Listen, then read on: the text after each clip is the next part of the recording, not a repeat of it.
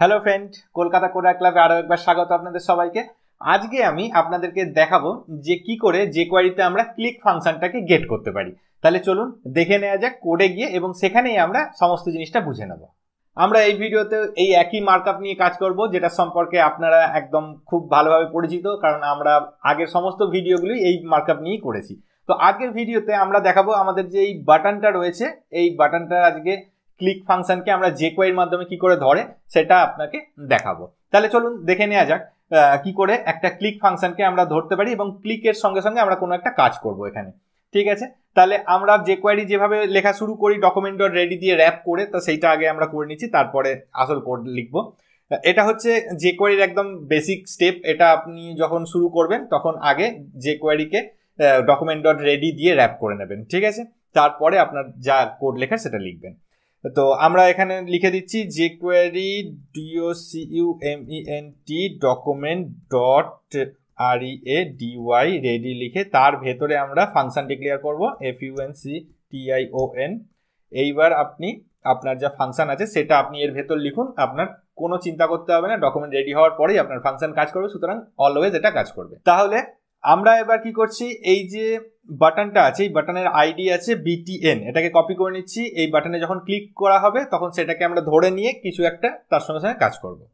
তাহলে আমরা এই বাটনটাকে কি করে ধরতে পারছি? আমরা লিখে দিচ্ছি গেট এলিমেন্ট বাই আইডি আইডিটা হচ্ছে কি? বাটন। বাটনের ওপর যখন ক্লিক হবে, সুতরাং আমরা ডট সিএলআই কে এইটা লিখে ফাংশন শুরু করছি। এবার এর ভেতরে আমাদেরকে কলব্যাক ফাংশনটা দিতে হবে।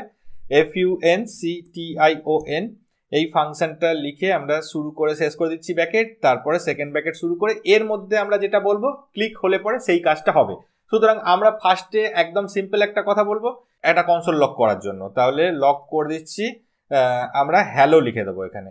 এইচ ই এল এল ও হ্যালো এই যখনই ক্লিক হবে তখনই আমাদেরকে হ্যালো দেখাবে কোথায়? কনসোলে তাহলে দেখে নিই এই কাজটা আমাদের হচ্ছে কিনা। এটাকে রিফ্রেশ করছি আমরা। রিফ্রেশ করার পর আমাদেরকে কনসোলটা খুলতে হবে দেখার জন্য যে ঠিকঠাক কাজ করছে কিনা। এবার আমরা এতে যখনই ক্লিক করব, দেখুন এখানে হ্যালো চলে আসছে, ঠিক আছে? আবার ক্লিক করব, এই হ্যালো দুই হয়ে গেছে। দুবার লেখা দেখাচ্ছে, তিন আরেকবার ক্লিক করছি এরকমভাবে ইনক্রিমেন্ট করতে থাকবে, যতবার বাড়বে।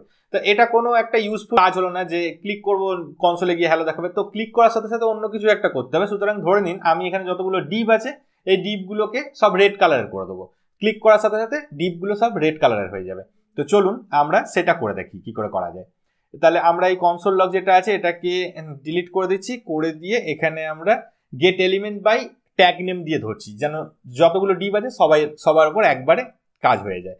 তাহলে আমরা এখানে দিচ্ছি ডিআইভি ডিভ লিখে আমরা এখানে সিএসএস ইউজ করছি সিএসএস দিয়ে আমরা এখানে লিখে দিচ্ছি colour C O L O R colour তারপরে কমা দিয়ে কালারটা কি কালার করতে চাইছি সেটা বলে দিতে হবে আমাদেরকে ভ্যালুটা ভ্যালুটা red R E D red এবার যদি আমরা এটাকে সেমিকলন দিয়ে শেষ করি সেভ করি কন্ট্রোল এস টিপে এবং ব্রাউজারে গিয়ে রিফ্রেশ করি, তাহলে আমরা আর কনসোলে কিছু দেখতে পাবো না, কারণ কনসোলটা যেটা ছিল ওটা আমরা ডিলিট করে দিয়েছি, কিন্তু ক্লিক করলে দেখব সবাই রেড হয়ে গেছে, কারণ সবাই এখানে ডিবের মধ্যেই আছে। এরা তিনজন ইন্ডিভিজুয়াল ডিবেতে রয়েছে এবং এই দুটো পি একটা ডিপ দিয়ে র্যাপ করা আছে, যেটা আমরা এইখানে দেখতে পাচ্ছি। সুতরাং সবাই ডিবের মধ্যে রয়েছে, সবাই রেড কালারের হয়ে গেছে। বাট আমরা শিখে গেলাম কি করে আমরা ক্লিক ফাংশনকে নিয়ে কাজ করব যে কোয়ারির মাধ্যমে। এখানে খুবই ইজি আপনি জাস্ট ক্লিক লিখে দেবেন, তাতেই আপনার এটা কাজ করে যাবে। এছাড়াও আরও একভাবে ক্লিককে নিয়ে কাজ করা যায়, কারণ হচ্ছে এগুলো তো একটা ইভেন্ট এবার আপনি বলবেন ইভেন্ট কি?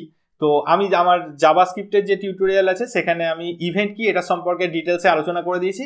আপনি যদি ইভেন্ট কি এটা সম্পর্কে আপনি ক্লিয়ার না থাকেন, তাহলে আপনাকে বলব, আমি কার্ডের লিঙ্ক দিয়ে দিচ্ছি। সেখানে গিয়ে একবার দেখে আসবেন ইভেন্ট কাকে বলে আপনি বুঝে যাবেন, আশা করছি। তাহলে আপনি যদি ইভেন্ট জানেন, তাহলে আরেকটা জিনিস দেখিয়ে দিই আপনাদেরকে যে এই ক্লিক ইভেন্টটাকে নিয়ে আমরা আরেকভাবে কি করে কাজ করতে পারি। এই ক্লিকের জায়গায় আপনি অন লিখে দেবেন ও এন যেরকম ভাবে আমরা বর্তমান যে কোয়ারি থ্রিতে লোডকে নিয়ে কাজ করতে পারি। তো আপনি যদি সেটা না জানেন, তাহলে কনফিউজ হবেন না, আমি পরে আপনাদেরকে ভিডিও করে দেখিয়ে দেবো। আর অনের পরে আপনাকে একটা স্ট্রিংয়ের মধ্যে বলে দিতে হবে click C L I C K click এটা হচ্ছে আমাদের ইভেন্টের নাম, সেটা আমরা লিখে দিলাম, লিখে দেওয়ার পরে আমরা কমা দিয়ে কলব্যাক ফাংশনটাকে সেপারেট করে দিলাম, ঠিক আছে? তাহলে আমরা এক হচ্ছে ডাইরেক্ট এই অনের জায়গায় ক্লিক লিখে ডাইরেক্ট ফাংশনটাকে ইউজ করে দিতে পারি আদারওয়াইজ আমাদের কাছে আরেকটা উপায় আছে, আমরা এখানে অন লিখতে পারি অন লেখার পরে আমরা কোন ইভেন্টটাকে ইউজ করব সেটা আমাদেরকে বলে দিতে হবে, আমরা ক্লিক ইভেন্টটাকে ইউজ করছি ক্লিকটাকে আমরা একটা স্ট্রিং এর মধ্যে করে লিখে দিয়েছি। লিখে দেওয়ার পরে ক্লিক হলে কি হবে? সেই ফাংশনটাকে আমরা এইখানে লিখে দিলাম। বোঝা গেছে? ভেরি ইজি আর একই রকম কাজ হবে। আপনি দুভাবেই লিখতে পারেন। আপনি অনের মধ্যে করেও লিখতে পারেন অথবা ক্লিকের মধ্যে করেও লিখতে পারেন। তো আমরা এটাকে যদি সেভ করে ব্রাউজারে এসে রিফ্রেশ করি রিফ্রেশ করে আমরা যদি ক্লিক করি, দেখব একই রকম কাজ হচ্ছে, সবাই আবার রেড হয়ে যাচ্ছে। বোঝা গেছে?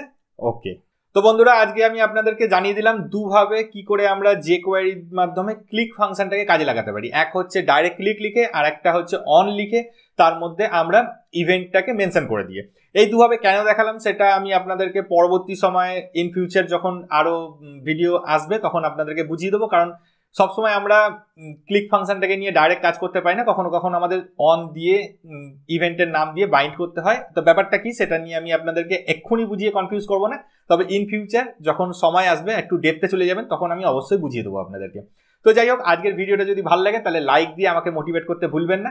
ভিডিওটা আপনার বন্ধু বান্ধবের সঙ্গে অবশ্যই শেয়ার করবেন, তাতে আমি আপনার বন্ধুর কাছে আপনার হাত ধরে পৌঁছে দিতে সক্ষম হয়ে যাব। আপনি যদি আজকে ফার্স্ট টাইম আমার ভিডিও দেখেন, অথবা আমাদের চ্যানেলের সঙ্গে এখনও জুড়ে গিয়ে না থাকেন, তাহলে বলব আপনাকে নিচে সাবস্ক্রাইব বাটনে ক্লিক করে দিয়ে পাশে বেল আইকনে ক্লিক করে দেবেন, যাতে ইন ফিউচার আমার তোলা প্রত্যেকটা ভিডিও আপনি তৎক্ষণাৎ দেখে নিয়ে আপনার নলেজকে আরও ইনক্রিজ করে নিতে পারেন। তো দেখা হবে বন্ধুরা, পরের ভিডিও থাকবেন, টাটা।